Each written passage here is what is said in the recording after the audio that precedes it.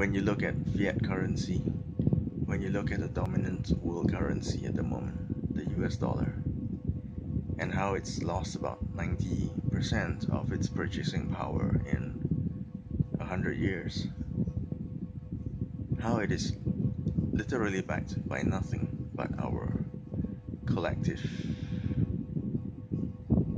hope, to put it positively, and delusion, to put it negatively.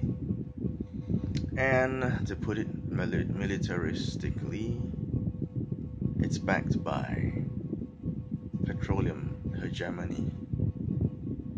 Anyway, such is the US dollar. Basically backed by nothing but promises. When you look at Bitcoin, it is also backed by nothing but promises. That the system will not be tampered with,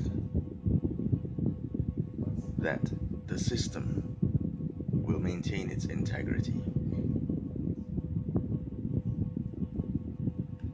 that the system will limit the number of bitcoins ever produced.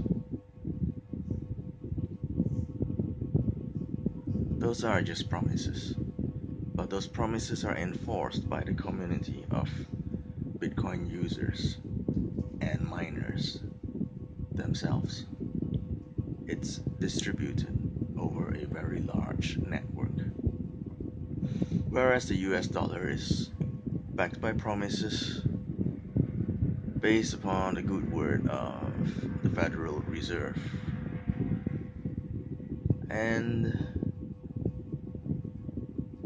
that gives you an idea of why people would trust in something called Bitcoin, which is just numbers on a screen,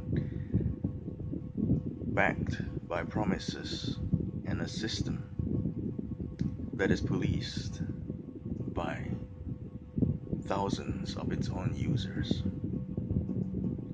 Over the US dollar, which is numbers on a screen, sometimes printed out is backed by the promises of the Federal Reserve,